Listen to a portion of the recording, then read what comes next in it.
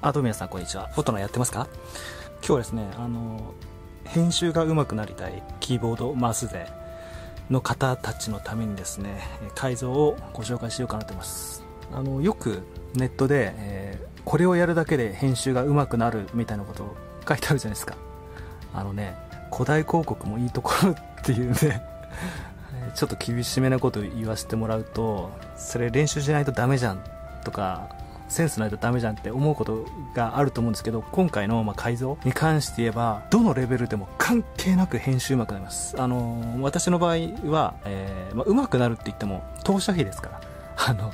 上手な人にはなれるかどうかわかんないですけど、まあ、どのレベルの人であっても、やる前よりかは、まあ、おそらく、よっぽど変変わった人でもなかったら、えー、編集上手くなります。というか建築もですね上手くなるです、まあ、全くしないとかっていう人だったらもちろん効果ないんですけど。まずはですね私のケースで、えどういったことが起こってたかを説明するんですけど建築でですねちょっと汚いマウスパッドで申し訳ないんですけど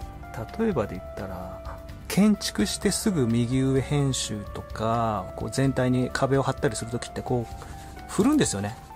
で振るときにあの軽いマウスだったらそんな困らないと思うんですけど重いマウス使ってるとですね、まあ、このマウスえもうすでにこの中のね重りを取ってるんです。ちなみにこのマウス使ってる人がいたらなんですけどこういう重りが入ってるんでここういう重り外してください。こうマウスをこうブンブン振るんですけど重たいとですねこう振った時に飛んでくんですよ。飛んでっちゃう。手にくっつかなくって。だから建築ができなかったり編集が高速でできなかったりするしその自分の本能としてこうマウスがこう飛んでっちゃうから建築編集をしないっていうことがあるんですよね。で私の場合は、えー、ていうかこのマウスの場合はまず最初ここ貼りましたねここ。こう握った時にここが全然グリップしないんでこれ見てもらうと分かるんですけど、これぜ昔使ってたっていうか、まあ、ちょっと前まで使ってたやつなんですけど、これの場合はですね、もうここ今、小指のところなくなっちゃってると思いますけど、ある程度引っかかって、えなおかつ、その、下地がね、え出てきたんで、指が引っかかって、まあ、多少良かったんですよ。もうここ、くぼんでるんで、こう指が引っかかって、離れづらかったんですけど、新しいの買ったらですね、もう今ちょっと見えなくなっちゃってますけど、新しいの買っちゃったら、一応ゴムが貼ってあるんですけどこう飛んでっちゃったんですよね。飛んでっちゃう。だからここにですね、えー、まあ、シリコンを今分かると思うんですけどシリコンを貼ってあるんですよ、えー、両面テープをまず貼って薄い両面テープを貼ってそこに、えー、ダイソーとかで売ってるシリコンでいいと思うんですけどこういうのをね切って貼るだけでもう指にめちゃくちゃフィットします、え小指はねおすすめですまあ、ここはね、なくてもいいかもしれないですけど。なので、こう、マウスを使っててね、えー、手から飛んでっちゃうとかっていう人はですね、圧倒的に効果があります。まあ、これでもいいんですよ。今ね、なんでこうペラペラ外れちゃうかっていうと、あのシリコンってくっつかないんですよ。テープが。とか、あと普通の接着剤だとだとくっつかないんですよ、シリコンって。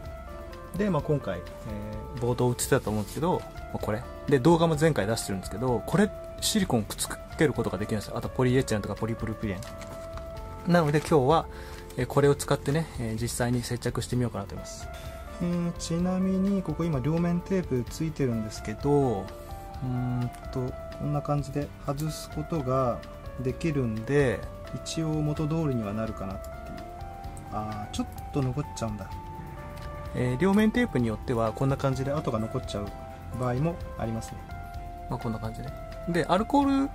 まあ、面積が狭いんでね、アルコールでもいいんですけど、もし、その、粘着が残ってしまうっていう場合がありましたら、その場合はですね、あの、米ぬか、米ぬかで落ちますから、えー、よかったらですね、えー、その場合に備えて、えー、動画を概要欄に貼っておくんで、まあ、よかったらそっちも見てください。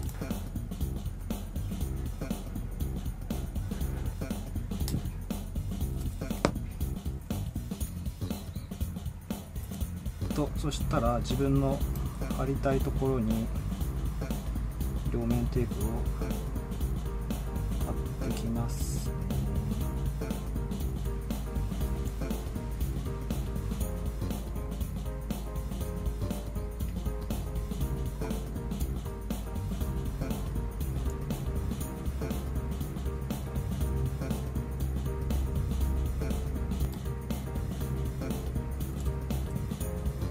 で、えー、今回使う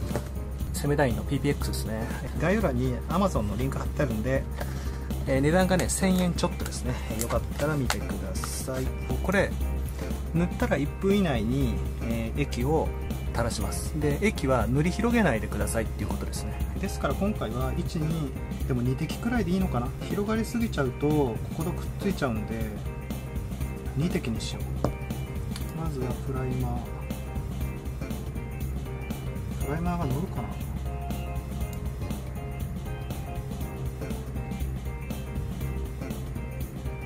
あプライマーがね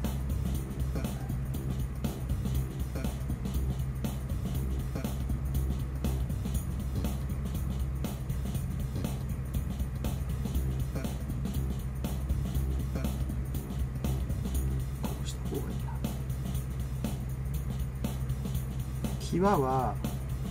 トントンタイプ。トントンやって液を出して塗り広げる。広がっちゃうなこれ。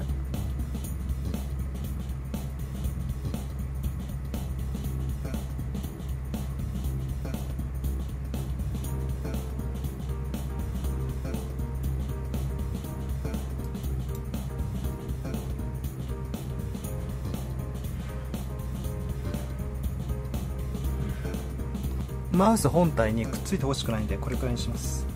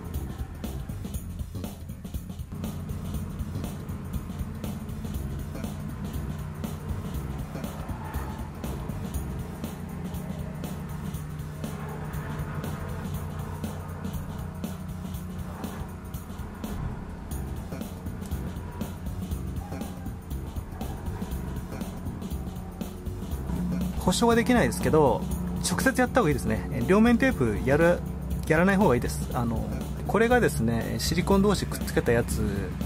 の残りなんですけどこの面でこうくっつけたんですけどこれが接着剤乾いた後なんですよ、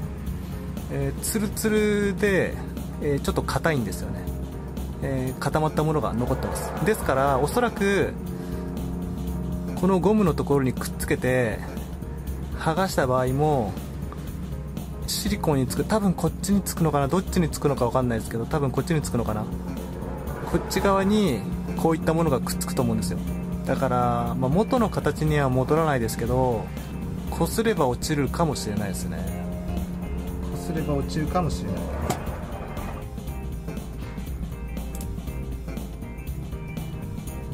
な感じで今パキッて割れたのが分かると思うんですけど。でも簡単には剥がれないですね。まあそれぞれお任せします。リスクをどこまで許容してやるかっていう。ちょっと良くなりましたね。あの